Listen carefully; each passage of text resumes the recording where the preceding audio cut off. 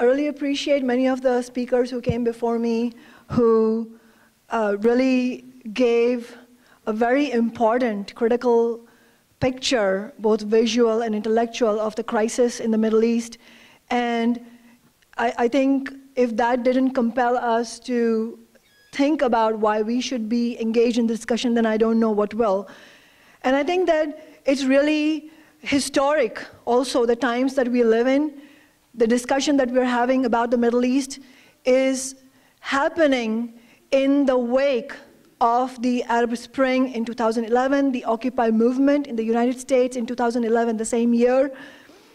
And last year, the rise of the idea of socialism in the United States, which is a really remarkable thing for us to note in a presidential election year when uh, most of the conversation about mass movements and social movements typically dies down in US presidential election year. Last year was a unique year that that did not happen, and not only did that not happen, the figure who ended up capturing the imagination of the mass of young people in the United States was neither Donald Trump nor Hillary Clinton. It was Bernie Sanders, who ran openly as a democratic socialist and boldly talked about the need for a political revolution against the billionaire class of the United States. And I want to, I want to use that as the context for our discussion because as a socialist, as a Marxist myself, my own analysis leads me to strongly believe that there will not be any solution to the misery that we see experienced by literally billions of people in this world. And, it, and, and, and my fellow speakers went into uh, some of the history of colonialism and imperialism. And uh, Brother Imam talked about the question of divide and conquer. And I think that's a very important starting point. And to understand why, why is this misery being perpetuated? And, uh, you know, just to illustrate the crisis, I think uh, Sister Aisha laid out a very important, you know, sort of current situation that is going on. She talked about the UN report that revealed that 20 million people in just four countries are faced with acute famine or you know, threat of famine. And Yemen has the largest crisis, but the other countries are, of course, northern Nigeria, South Sudan, and Somalia.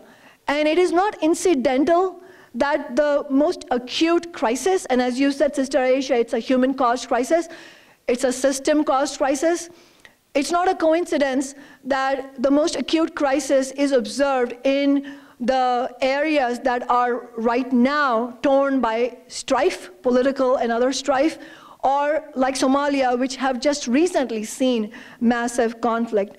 And I think uh, I mean, I agree with the, my fellow speakers that the media plays a big role in whether or not American people, and by American people I mean people living in the United States. I don't, I'm not necessarily referring to any race per se. It is true, as you all have said, that the media plays a big role in what people get to hear about. And so it is true that probably, I mean, it's not something I've studied, but I, would probably believe that the vast majority of American working people do not know the severity of the crisis in Yemen and Syria. Yes, I, that may be true. I do think, though, that Brother Muhammad Nimir went into a very, very important point, which is the question of power. And I, I mean, just stepping back, I, I don't know if you all will agree with me, but I strongly believe that the vast majority of human beings will not condone this kind of carnage and bloodshed. The vast majority of human beings do not want war. But the question is, what choice do we have? I mean, if, if we had the choice of whether or not our sisters and brothers, our sons and daughters, our husbands and wives were to be sent to war or not, if we had the choice, if we had the power to decide the fates of our loved ones, then I do not believe that we would choose war. I do not believe that we would choose destruction because it is, it, it, if we had the power to decide that, then it would be a situation where our self interest coincides with the collective interest of the human population. Unfortunately for us, we are in a system of global capitalism where such a thing is not possible. I mean, uh, I'm, I'm, going to butcher this quote, but this was a quote, quote by one of the Black Panthers who said that if a white man is racist, that's his problem. I mean, if he has racist ideas, that's his problem. But if he has the power to kill me out of those racist ideas, then that's my problem. In other words, I, I think that if our system, our economic, political, and social system in the world reflected the true values of human beings as a whole, then we would not have war and strife and poverty. The problem is that for the vast majority of people, we don't have the choice to decide what's going to happen in the world. And that is why I think that we are not in a position to come up with a serious analysis of why things are the way they are and what would it take to change them unless we went to the root of the question of capitalism. I mean, this is a global system of capitalism, and the things are the way they are because for, uh, you know, depends on how close the links are, but ultimately you can trace everything that's happening, not just to UK and the United States, which I agree with, and as a, as a person from India, I, I you know, we cannot deny the larger than life role played by American imperialism and British imperialism, but it is not about white men against black people or brown people. If you look at the colonization of Ireland by Britain, it was not a question of race, it was a question of power. And the question of power is closely linked to the, to, to the global system of capitalism. And we, we, we, won't be able to understand why things are the way they are unless we look at capitalism itself. Just let's look at the numbers. Sister Aisha talked about the crisis in Yemen and the 20 million people who are uh, on the brink of starvation. If you, if you look at the UN report, they will tell you that only $5.6 billion will be needed to end that crisis. If you look at it from monetary terms, if you look at what will be needed to end the starvation and famine, it's just $5.6 billion. I mean, I say $5.6 billion not because I'm a multi-billionaire, I'm a working class person, but I say just 5.6 billion because look at where we are. We are in Seattle. We have Jeff Bezos, who is one of the eight richest people in the world. And we have Bill Gates, another of those eight richest people in the world, who is well on his way to become a trillionaire. So, and I speak both as a socialist and as an economist at this point, if you look at it from a monetary or a financial or an economic resources standpoint, there is no shortage of resources in this world to not just feed everyone and make sure that they're not suffering from malnourishment, but there is more than enough resources in this world to ensure that all human beings can thrive with very high standards of living. The barriers are not the amount of resources. Grain is rotting in the granaries as people are starving. There is no shortage of natural resources. There is no shortage of uh, creativity and talent in, in, in the human race. What is missing is a system that will facilitate this, uh, facilitate the use of these massive resources into being used for the betterment of human society, to make sure that everybody has a decent standard of living, to eliminate war, to eliminate uh, the, the killings of so many human beings throughout the world. And that system that will be able to deliver such, such, a, such a society that I think most human beings want is what I would call socialism. I mean, you, you, you can call it with any, any word you want, but it's basically com comes down to socialism. Socialism is, is the idea of a global economic structure and social structure that can harness the enormous amounts of wealth in human society to deliver decent standards of living to everybody in the whole world in an environmentally sustainable manner. So it's not that we couldn't do it. It's not that this misery and bloodshed and death and war is in the DNA of the human race. It is in the DNA of the system of capitalism, though. And so, if we are to talk about what can change, we have to talk about capitalism versus socialism. That is how, in my mind, the question is posed. But we can't just talk about it in generalities and rhetoric. We have to talk about actually what we can do. And I think that's where the question of where we are comes in, the question of Trump, the Trump era, and what role Americans, people who live in America, can play in this global situation. First of all, in contradiction to one of the speakers who preceded me, I think we have to be very, very careful in understanding that you cannot have any illusions in Donald Trump. Donald Trump is a multi-billionaire, right-wing bigot, racist, and misogynist.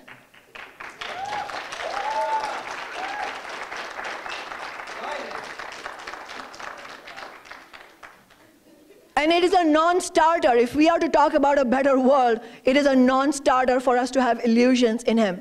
That does not mean that I support the Democratic Party. I don't. But it is important to, under, to uh, correctly characterize what we are up against. And so I think that we are in a unique moment in human history where, uh, uh, you know, if you look at the land, political landscape of the United States, for decades, there were really no mass movements to speak of.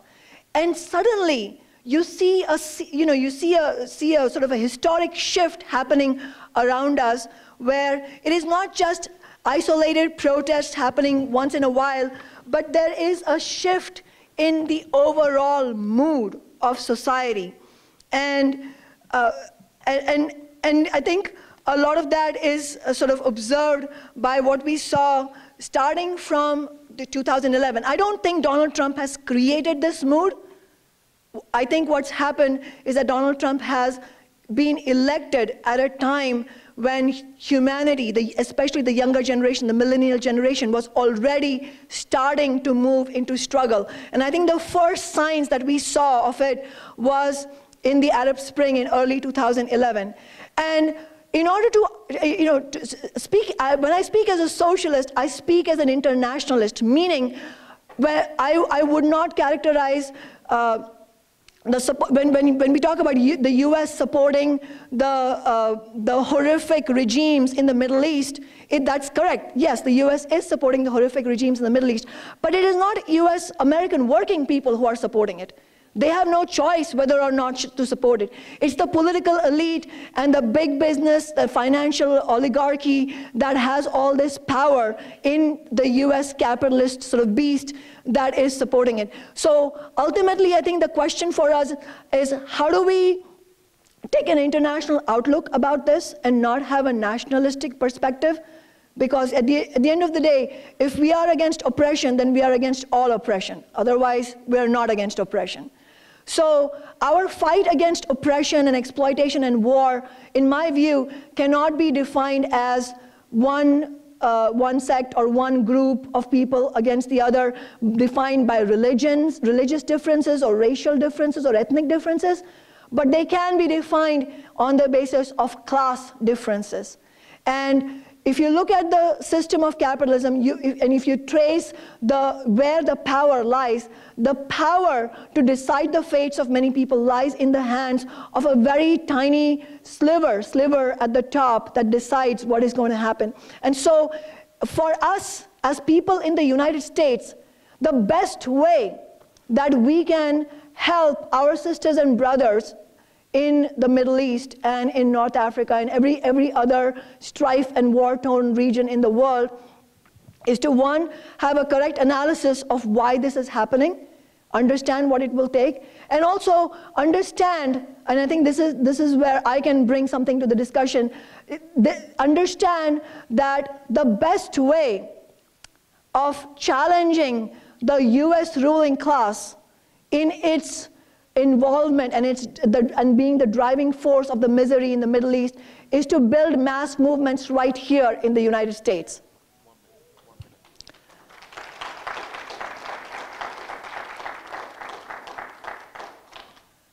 And so I would appeal to you all that let us concretely get involved in the struggle that is developing around us. Right now, we are seeing ever since Trump got elected, I mean, just to give you an example, when Trump was elected, that very moment, there was a deep sort of sense of shock and disbelief that this could actually happen. But the very next day, my organization, Socialist Alternative, we called nationwide protests the day after election. And at the moment that everybody else in the you know, political punditry class were, were, were you know, just shocked and paralyzed, the, working people and young people were not paralyzed. They were looking to come out and fight back.